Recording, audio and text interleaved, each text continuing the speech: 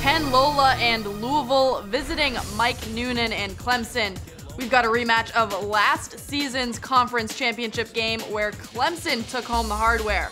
First half, no score, 32nd minute. Amon Mafi with the penalty kick. He blasts it into the left corner. 1 0 Clemson.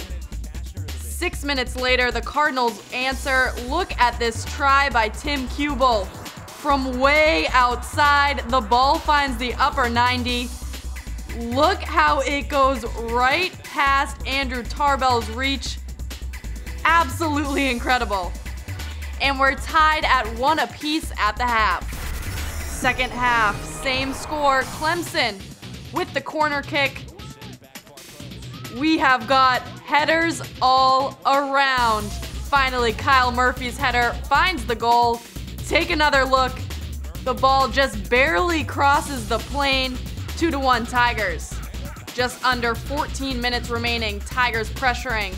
Diego Campos crosses and out of nowhere, Austen Burnikel slides in for the goal. It's Burnikel's fourth goal of the year. Clemson takes it again. Final score 4 to 2. I'm Courtney Cox, and you're watching the ACC Digital Network.